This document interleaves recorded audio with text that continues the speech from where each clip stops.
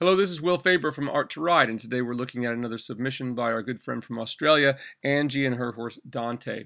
She's been working with us for uh, a few months now as one of our scholarship students, and we've been seeing some great improvement in her horse. Already, this is a really nice walk, better than what I've seen before. Uh, he's stretching into the contact better, and the, beat, the walk is more four beat, which is what we want it to be and really quite quite swinging uh, compared to what I saw the horse the first time. He kind of had those kind of legs that kind of looked like he was pulling them up out of mud. But this is starting to swing much more nicely. And she goes into a trot here. There's there's no big interruption of his frame particularly. Um, she didn't try to hold him into a frame, which I love. This is the biggest mistake people make, is you can't, you'll never correct transitions by holding on to the front end of the horse. All you'll do is destroy the transition and slow the horse down.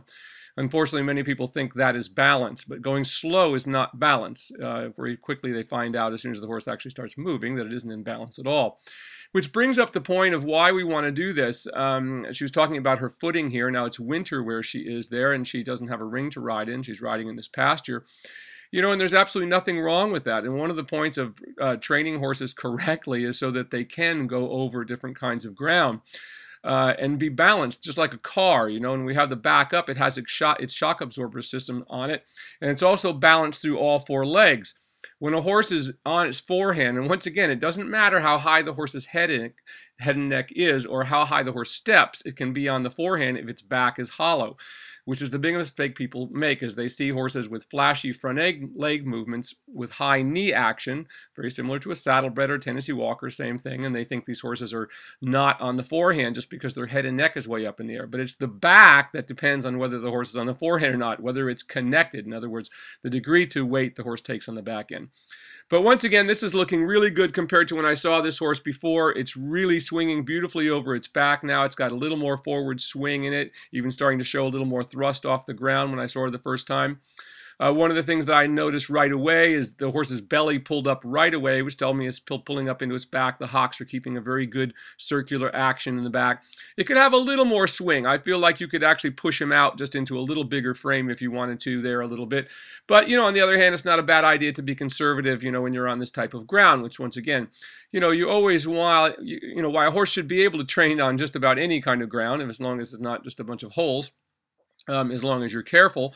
Once again, as long as the horse is balanced on all four legs, for instance, uh, you know, many times galloping cross country, I've had horses step in holes, and if they're balanced, they kind of skip right over the holes. But you can imagine if a horse is galloping on its forehand, if it hits a hole, which I've also seen many times, is the horses just come right down on top of people or flip over on them, which is even worse, the worst thing you can ever have happen. So getting the horse balanced is is uh, is what we want in all types of terrain. It's like an all-terrain vehicle, you know what I mean?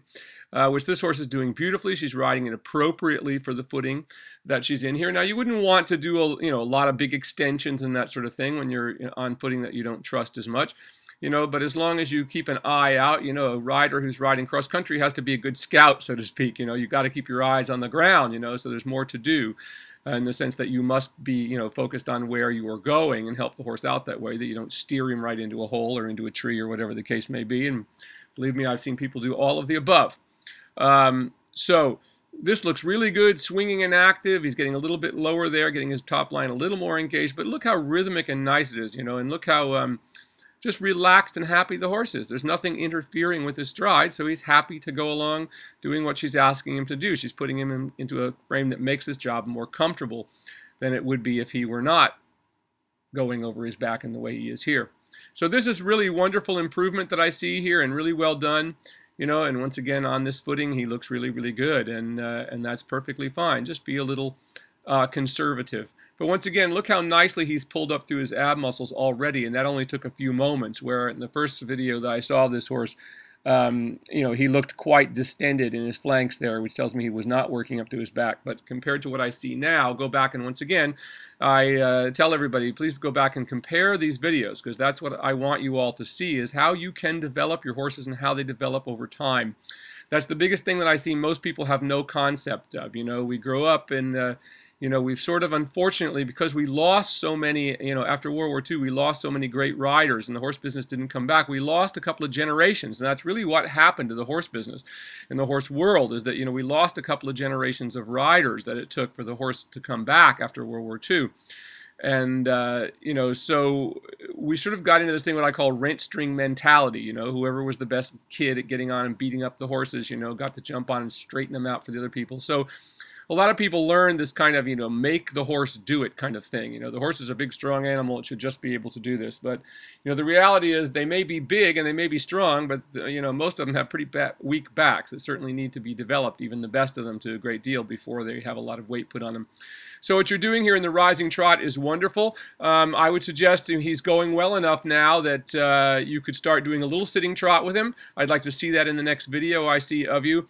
Um, watch the videos on developing the sitting trot. I would just like to see him on a circle, nice relaxed rein, and just sitting three strides at a time. So once again, when you are able to do sitting trot, you should be able to do it without any interruption of the horse's stride. It should not change the horse from its working trot. So if you see yourself having to slow the horse way down because it's so jarring when you sit, that's telling you that the shock absorbers simply aren't there. So don't sit. Don't be like so many people who endlessly destroy themselves and their horses by thinking that sitting trot is what dressage is all about. Nothing could be further from the truth. Dressage is all about developing horses over their top line correctly in a manner that is gymnastic and uh, relaxed and happy for both horse and rider. That's what dressage is. You know, it's not this idea of forcing them into frames that was dressage, what dressage was not about. And it's very sad that we've seen it creep more and more into dressage, where you know we are seeing, you know, we shouldn't be having an argument about the cruelty of dressage practices. I'm amazed that this has ever come up, but you know it is because this is how far you know, we went down the wrong road for a while. But it's lovely to see so many people now, you know, getting their own horses together and, you know, realizing that they can do this on their own, you know, just like Angie is doing here. What a wonderful shoulder in that is. He's got his nose a little bit times pulled up to the left a little too much, but that's not bad at all. I love how you didn't overbend the neck. Everyone remember that when we talk about bend in the horse, we're talking about the middle of the horse's back, not in the neck. Whenever you see people twisting horses' necks from side to side, thinking they're softening them, all that really does is shorten the horse's stride down. And while that may work to some degree to, and to people who don't know what they're looking at on big flashy moving horses, you know, if you do that to a horse that isn't a big flashy mover, you'll you'll find that you'll have destroyed so much movement there will be nothing there at all. But once again, once you have an educated eye, you'll be able to see these things on, you know, uh, expensive horses as well as the less expensive ones. But this is really a nice walk. I nice how he's softening there. His, his working walk is just developing beautifully from which you can explain things to him. Once again, that was what Nuno Oliveira used to say. He used to say that walk was where we explain everything to the horse, where we have time to take it slowly. You know, it's like learning to play an instrument. You don't you don't go at it as 100 beats per minute, you know, right off the bat. You go slowly, slowly, slowly as you train yourself and your body. Well, the same is true of, of a horse. You know, it must train very slowly so it can understand. Then it's just that simple principle. We put everything in order. We work the shoulder into the leg yields in the walk, and then when we can do them and keep the horse over its back in the walk, we're probably ready to begin those same things at the trot you know, and then into the canter, all things. So we take them, the gears in the order, you know, that they come, one, two, three, so to speak, walk, trot, and canter.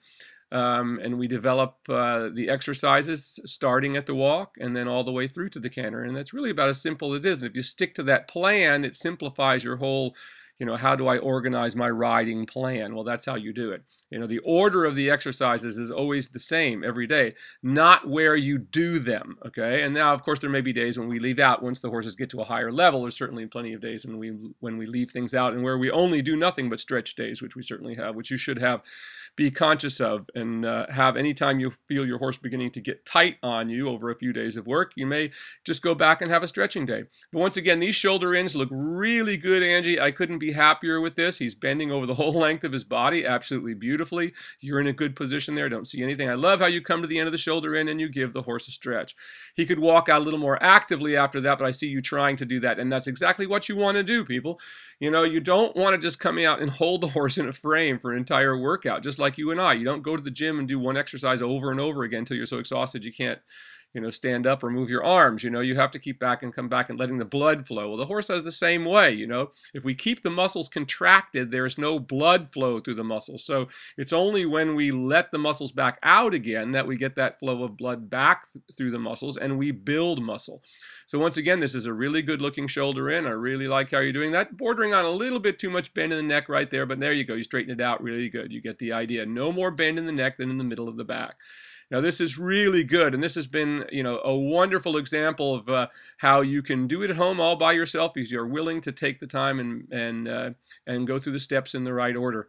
There's really nothing hard about training horses. The only thing about hard about training horses is is training yourself. That is training yourself to be patient, training your eyes to watch and be able to see what what is really going on, and to train your level of of uh, feel and your level of instinct and your compassion for the animal. That's what has to grow in time over this. Because if you can become less compassionate, as we see so many people who are ready to strike these animals that you know at at you know the the slightest little shake of the head, or you know they put the saddle on and you know beat that horse up because he's trying to kick at you for putting the saddle on. Well, if the horse starts to kick at you and you put the saddle on, check and see if his back is sore because it probably is, rather than beat the horse up, and you'll have a much more happy camper, so to speak. But this is beautiful. Look how he's stretching down now in the trot, and there's been so little difference in the trot. It's really good. I think you could open it up just a little more, but once again, on the kind of footing that you're on here, you don't want to open it up too much, and you wouldn't want to do too many extensions. So there's nothing wrong with doing some lengthening the stride as long as you're sure that you know the grass is steady and you've got no big holes there anywhere. But this is really, really good and a huge improvement. And this is what I call a really nice working trot. I mean, you know, for a horse that would be like a training level horse. This is what a training level horse should look like. It's accepting contact with the bit. It's working over its back. And look how he's starting to thrust. Now, right there, that's really beautiful. He's actually starting to thrust. He comes a little deeper. And you're riding the horse beautifully from behind to the front. That's really, really well done. Really, really nice and really good in the leg yield. Once again, very good there. No change of rhythm. That's what I want to see. And once again, she comes back to a little more of a stretch after the harder exercise. Beautiful, just what I want to see. And look how nicely he changes the rhythm through the working. That tells you a lot when you can change the direction without the horse throwing its head up in the air. It tells you that you have developed the back to a great degree a great degree. Angie, so this has been a wonderful tape, wonderful improvement. I look forward to seeing the next one. Next time I want you to add a little sitting trot. Once again, just watch my video on that. Just add a few strides at a time. Three when you can do three on a circle, then do five. In other words, alternate. Uh, in other words, three, then alternate five. Five strides rising, five strides sitting. And when you can keep that, then you can go on to half a circle, that sort of thing. So you can add a little bit of that into your training as long as it doesn't interrupt the horse's stride. And uh, once again, maybe in the next tape we can take a look at the canter because the trot work is coming absolutely absolutely beautiful. I mean, if you wrote a training level dressage test like this, the way you're doing it right here, you should score very, very high and do very, very well. Because that's what a training level horse is supposed to look like right there. It's accepting contact, it's working over its back, it's swinging freely. That looks like it would develop into something really beautiful, and you're doing a wonderful job with it. Really sensitive with your hands and uh, absolutely no problem. But you see how easy it is to ride when we train them to correctly. Once again, this is Will Faerber from Art to Ride with my good friend Angie and her horse Dante. See you next time.